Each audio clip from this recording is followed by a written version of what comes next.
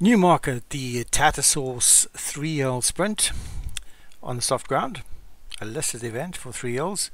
One is Annihilator for Michael Scala. Two Big Flash, Alex Cherry. Three Grand Opening, Graham Clutterbuck. Four Latte Dulce, Darren Thompson. Five Retail Dimension, Craig Allen. Six is Storm Defense, Paul Rhodes. Seven Tamarillo Fires, Rod McClure. Eight is Duck Hunter, Joshua Sutherland. Nine Fairy Godmother, Michael Scala. 10 is French Advent, CDJ Liggett, and 11 Puchin Marion for Vinnie Gerard. At the start, and away they go. Good break by Retail Dimension, also quickly away was Duck Hunter, and as Duck Hunter goes to lead them from on the outside of that is Fairy Godmother, Latte Dulce on the inside for Darren Thompson, then comes Annihilator, the grey horse for Michael Scala, out wide is Puchin Marion for Vinnie Gerard, and that one's inside is uh, Retail Dimension, Grand Opening in centre the crack, and the uh, Welsh flag colours for Graham Clutterbuck.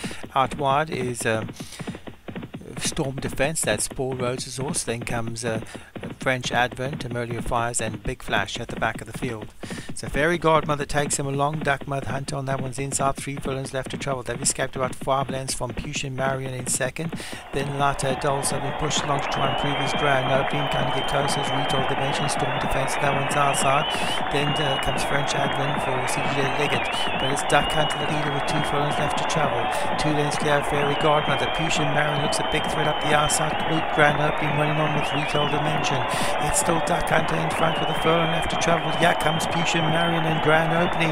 And Puchin Marion and Grand Opening coming to grab Duck Hunter. Puchin Marion are drawing clear from Retail Dimension is finishing strongly and also on the outside Storm Wizard. But Vinnie Gerard does it again.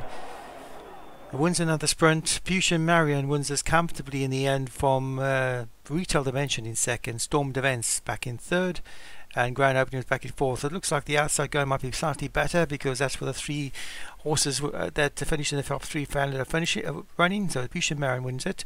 Duck Hunter faded back to fifth for Joshua Sutherland.